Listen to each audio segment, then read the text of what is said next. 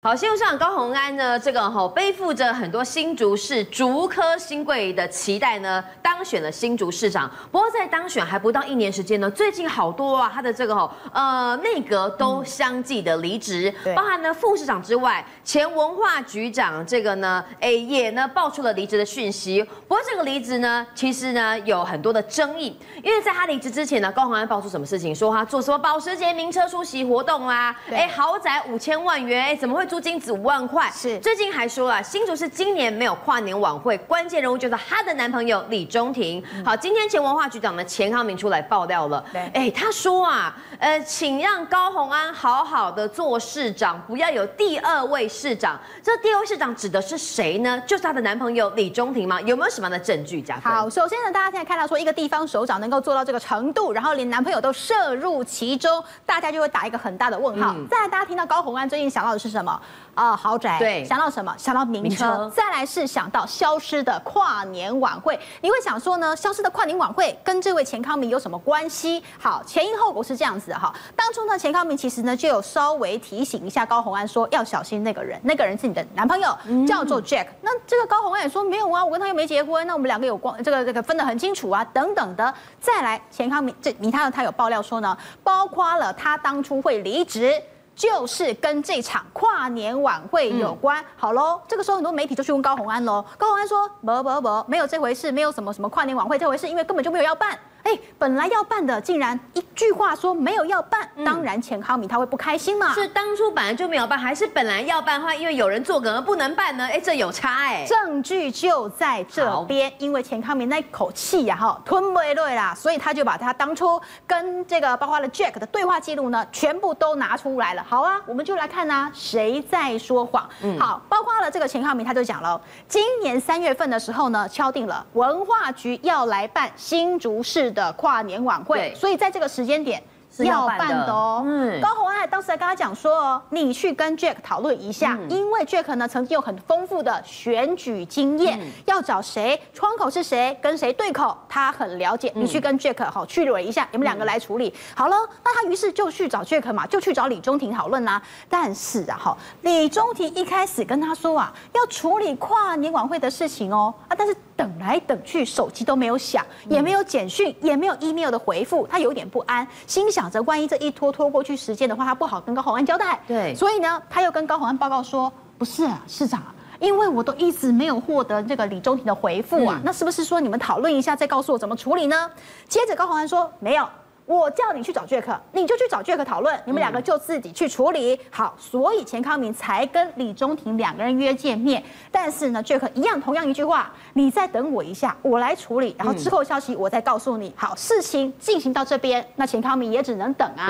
等啊等啊，过了四月，过了五月份了之后呢，李中廷还是没有给他消息，所以钱康明心里一急了，急了之后呢，赶快跟对方说，不然这样好了，你先给我一份纸本的 A4 纸也好看是几页的计划书也好，让我好个交代，或者我去找一些赞助厂商，我这边先来着手进行一些相关的规划。对，因为一个哈跨年晚会哦，其实是需要非常多方的力量啊，一定是要在大半年前就要这个执行跟运作，呃，企业赞助也很重要，很重要啊。刚刚明君特别提到重点。啦，大规模的很多人的厂商一起来协助，你知道吗？李中庭给他什么？李中庭给他一份六页的 A4，而且还是单面列印的，这么简单的？你就想啊，A4 六页能够有几几个字嘛？哈，能够找多少的资料？好，这个时候他跟他讲说，没有没有，我告诉你为什么这么简单，因为新竹市跟新竹县可能会合办，所以你有帮手了，你不用那么担心。然后呢，演出的部分。新竹县去负责，比如说歌手啦、舞台啦、嘿艺人那些比较繁琐的，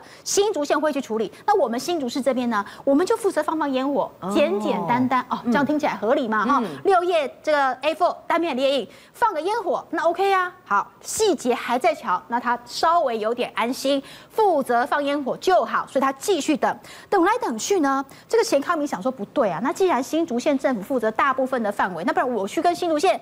联络看看，先了解一下有什么细节，对，进度在哪？好，他就去跟新竹县的窗口对上了，一对啊，不得了了。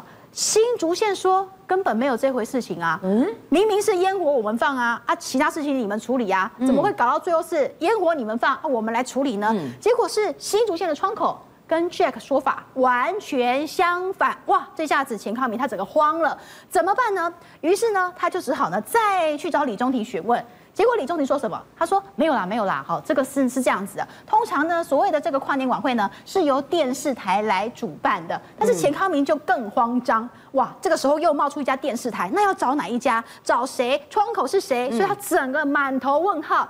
他无法跟高红安来交代，然后他的对口这个 Jack 又是模糊不清，五个月以来没有任何进度，结果到最后竟然演变成高红安一句话说新竹市从来没有要办跨年晚会，你说这样子洋洋洒洒这么多的证据。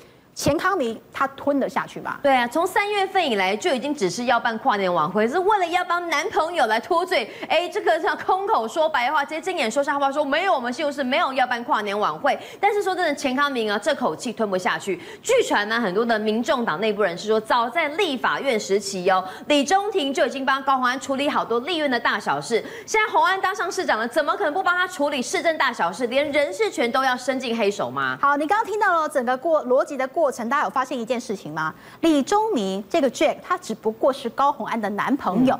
为什么他可以把手伸进去要来处理所谓跨年晚会的事，然后还可以去跟新竹县的窗口来做对口呢？所以很多人都在怀疑他说，那他会不会是所谓的地下市长嘛？好，这个疑云呢也是放在了包括了他的职权上面了。因为呢，其实包括了李中庭跟钱康明的这个对话记录呢，都有被留留存下来。钱康明呢，他也受不了了，全部都说出来，告诉大家，大家自有这个公平。好，包括了呢，八月二号的早上，这其实是要讲述说他被离。的过程啦，对，好，八月二号的早上呢，这个李中庭就直问钱康明说，为什么副市长去跟某某人见面，你没有告诉我？好，被万一市长高鸿安被别人问到的时候，他一问三不知，你要怎么处理？好，谁负责？这个时候呢，包括钱康明他就说了哈，呃，他就说呃，包括他说呃呃，跨年晚会是你要做的，啊，你叫我不要管，那我回来什么事都没做的话，那是要报告什么呢？接着他又说了，那如果你跟林志坚见面。也不用报告吗？那这个时候呢，钱康明就哎懵了。对啊，我又没跟林志坚见面。那如果我在外面吃饭，那到底要跟他见什么面？什么事也没有发生，要报告什么？两个人看得出来已经有火药味了。对，包括了其实这个钱康明他的身份，文化局长要跟谁见面？难道还要经过李中庭的同意吗？嗯那你职权有这么大？对，这是这个对话记录我们看出来的一些端倪。再者，八月十四号的下午啊，直接。开宗明义告诉你了，谢谢你的帮忙哈，你的配合跟我当时想的不太一样，所以是不是呢？你看什么时候呢？就词点点点，哎，八月二号上午两个人在赖对话，有点火药味，两天后叫人家不要干了，哎，哎呦，这这告诉你哦哈，你要是惹到我了，那不是你走就是我走，那我不可能走嘛，所以就要你走。那这钱康明他也说啊，我不会辞职，我是洪安找来的，要走也是洪安叫我走，我才会走，哎。合理嘛？哇，这个时候 Jack 他回你什么呢？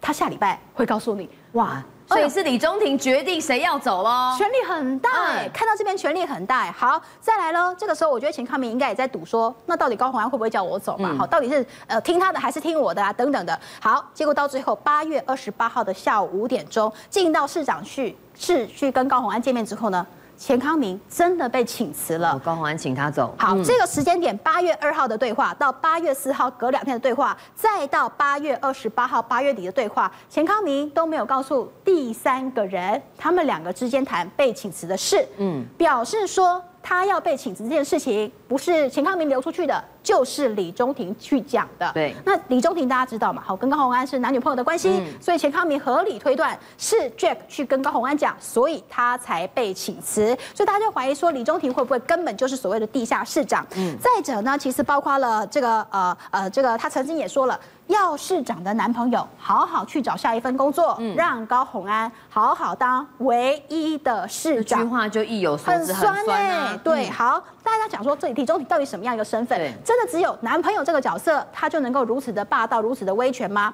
美丽岛电子报的董事长吴子嘉吴董他就说，他据他的了解，据他手边的资料，他说疑似呢，这个李中庭的父母好像都是司法官出身，而且相当有成就，本身他也是学法律的，据传。根据吴董的了解，李宗平的父母对高红安好像不是非常的满意，所以这次说男尊女卑哦，高红安很崇拜这个男朋友，以至于说我市政都要听他的话，就连房子甚至车子都是男朋友在背后一手帮他策划跟安排吗？但但是你看到这边哦，你会觉得说好像每一个地方都有个断点，所以高红安他。承不承认？其实，在这个法律上来讲，其实他还有很多很多犹疑的空间。比方说，当初国民党派了林根仁然后在新竹市要跟高鸿安来做角逐。林根仁他也发了一篇脸书，他说呢，会不会有很多的几率都是刚好、刚好、刚好？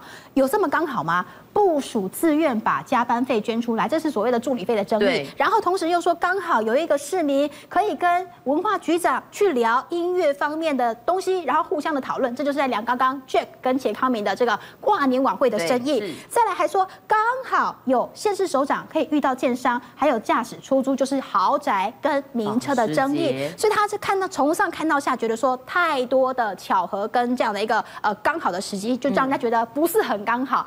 那么另外。呢包括了刚刚其实特别提到的这一位刘幼彤，好，他呢其实，在呃当初在高雄要选市长的时候呢，曾经就爆发了助理费的争议。当时的刘幼彤发了一本脸书，上头呢抛出的是职场的深呼吸，告诉大家说职场遇到一些呃其他的不好的同事该怎么做。那其实他就抛文里面呢，最重要的是一一句话在这里哦把工作能力最差的员工提升到管理阶层，就能够把伤害省到最低。被当时引用就叫说你是不是在酸高红安呐？因为两个人其实以前都是在郭董底下做事情的嘛。对，好，他说没有啦，怎么可能？他以前都是有这个呃见过面。召会过的不可能互酸。好，我们就来看看，这个是最近网友们贴出来的 Po 文，大密宝没挖到，一直就是在讲高红安。结果底下有一个人留出一个笑脸哦，刘幼彤，谁呢？刘幼彤啊，所以大家又在讲说呢，其实刘幼彤一直以来呢，都用一些文章在高级酸高红安。政界、商界、演艺界，跨界揭秘。重案、悬案、攻击案、拍案惊奇，新闻内幕、独特观点，厘清事实，破解谜团。我是陈明君，我是李佳明，敬请锁定《五七新闻网》，真相不漏网。